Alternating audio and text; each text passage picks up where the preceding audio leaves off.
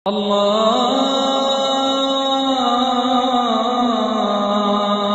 أكبر الله أكبر. الله أكبر الله أكبر. أعوذ بالله من الشيطان الرجيم.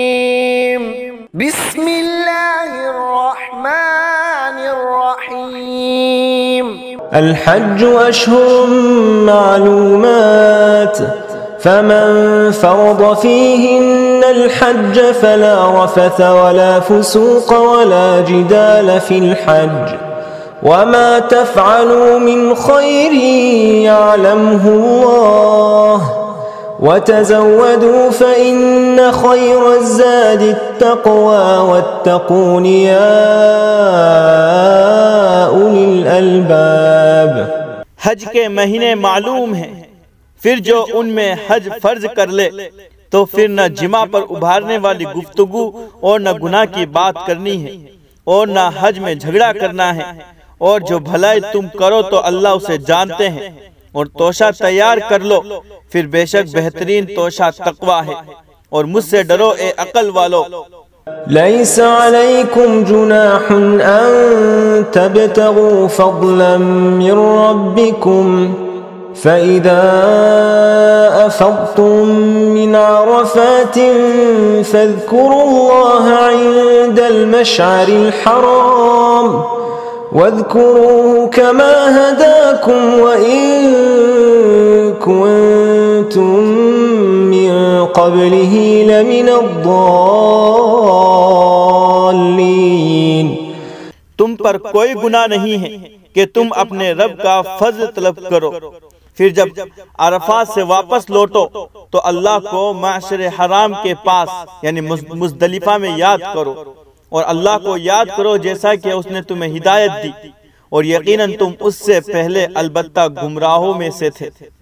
ثم أفيضوا من حيث وفاض الناس۔ واستغفروا الله واستغفروا الله۔ إن الله غفور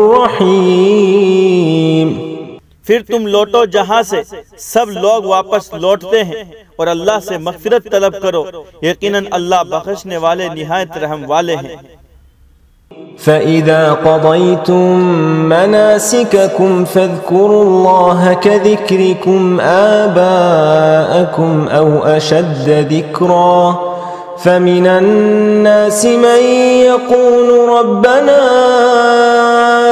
آتنا في الدنيا له في الآخرة من خلاق.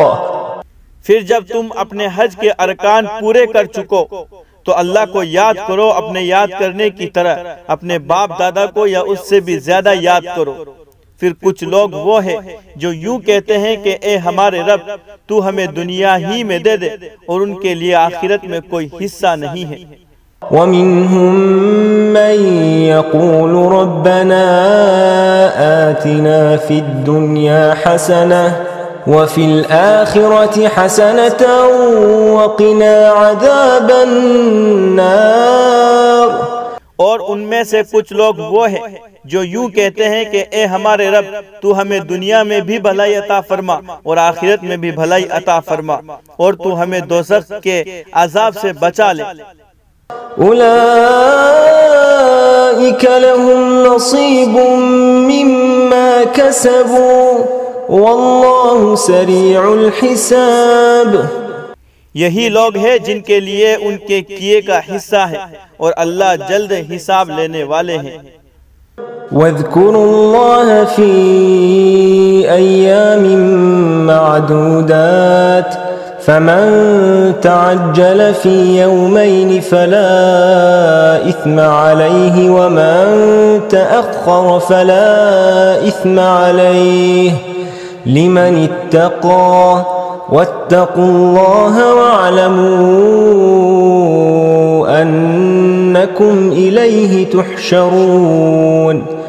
اور اللہ کو چند گنے چنے دنوں میں یاد کرو۔ پھر جو دو دن میں جلدی مکہ واپس آ جائے تو اس پر کوئی گناہ نہیں ہے۔ اور جو اس کے بعد بھی رہے تو اس پر بھی کوئی گناہ نہیں ہے۔ یہ ان کے لیے ہے جو متقی ہے۔ اور اللہ سے ڈرو اور جان لو کہ تم اس کی طرف اکٹھے کیے جاؤ گے ومن الناس من يعجبك قوله في الحياة الدنيا ويشهد الله على ما في قلبه ويشهد الله على ما في قلبه وهو ألد الخصام اور لوگوں میں ایسا شخص بھی ہے کہ جس کا کلام آپ کو اچھا لگتا ہے دنیاوی زندگی کے بارے میں اور وہ اللہ کو گواہ بتاتا ہے اس پر جو اس کے دل میں ہے۔ حالانکہ وہ سخت جھگڑا لو ہے۔ وَإِذَا تَوَلَّا سعى فِي الْأَرْضِ لِيُفْسِدَ فِيهَا وَيُهْلِكَ الحرث وَالنَّسْلِ وَاللَّهُ لَا يُحِبُّ الْفَسَادِ اور جب وہ واپس لوٹتا ہے تو زمین میں کوشش کرتا ہے تاکہ اس میں فساد پھیلائے اور وہ کھیتی اور جانوروں کو برباد کرتا ہے اور اللہ کو فساد پسند نہیں۔ وإذا قيل له اتق الله أخذته العزة بالإثم فحسبه جهنم فحسبه جهنم ولبئس المهاد اور جب اس سے کہا جاتا ہے کہ اللہ سے ڈر، تو اسے بڑائی، گناہ پر ابارتی ہے۔ پھر اس کے لیے جہنم کافی ہے اور وہ برا ٹھکانہ ہے۔ ومن الناس من يشري نفسه ابتغاء مرضات الله والله رؤوف بالعباد۔ اور کچھ لوگ وہ ہیں جو اللہ کی رضا کی طلب میں اپنی جان دے دیتے ہیں اور اللہ بندوں پر مہربان ہے يا أيها الذين آمنوا ادخلوا في السلم كافة ولا تتبعوا خطوات الشيطان إنه لكم عدو مبين اے ایمان والو، تم اسلام میں پورے پورے داخل ہو جاؤ اور تم شیطان کے قدم بقدم مت چلو۔ یقیناً وہ تمہارا کھلا دشمن ہے۔ فإن زللتم من بعد ما جاءتكم البينات فاعلموا فاعلموا أن الله عزيز حكيم پھر اگر تم پھسل جاؤ اس کے بعد کے تمہارے پاس واضح آیتیں آ چکی تو جان لو کہ اللہ زبردست ہے حکمت والا ہے۔ هل ينظرون إلا أن يأتيهم الله في ظلل من الغمام والملائكة والملائكة وقضي الأمر. وإلى الله ترجع الأمور۔ وہ منتظر نہیں ہے مگر اس بات کے کہ ان کے پاس اللہ آ جائے بادلوں کے سایہ بانوں میں اور فرشتے آ جائے اور معاملہ ختم کر دیا جائے اور اللہ ہی کی طرف تمام امور لوٹائے جائیں گے۔ الله